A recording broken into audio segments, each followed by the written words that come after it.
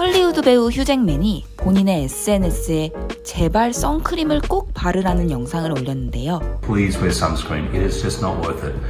No matter how much you want to tan, trust me, trust me, trust me. 오랜 시간 자외선에 노출돼서 생기는 기저세포암을 진단받았던 그가 자외선 차단제의 중요성을 여러 번 강조한 것입니다.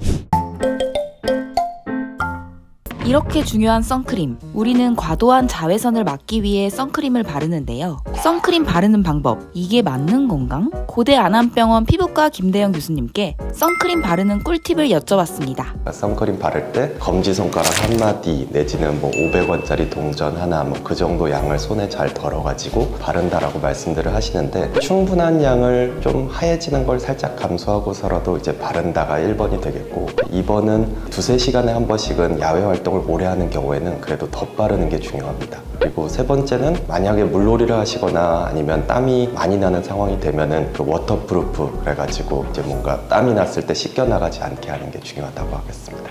햇빛이 강할 때 선크림을 발라야 한다는 사실은 잘 알지만 흐리거나 비가 오는 날에도 선크림을 발라야 하나요? 그 언뜻 생각해도 그렇게 해야 될 것 같지만 그 이유를 조금 들여다보면은 구름이 있으면 물론 뭐 일정 부분의 자외선은 차단이 되고 우리가 뜨겁게 느끼는 걸 그래서 이제 덜 느끼게 되고 이제 하게 되는데 또 자외선 중에서 그 UVA 같은 경우에는 은근히 구름을 뚫고 들어오는 것도 많고 뭐 UVB라고 해서 안 들어오는 것도 아니거니와 햇빛이 강한 날에는 그늘을 찾아서 사람들이 다니는데 은근히 구름 낀 날에는 어 그냥 괜찮네 하면서 오래 자외선에 노출되는 경우가 많기 때문에 사실상은 자외선 차단제를 꼭 바르시도록 말씀드리고 있습니다. 방심은 금물, 가을에도 선크림 바르는 것 잊지 마세요.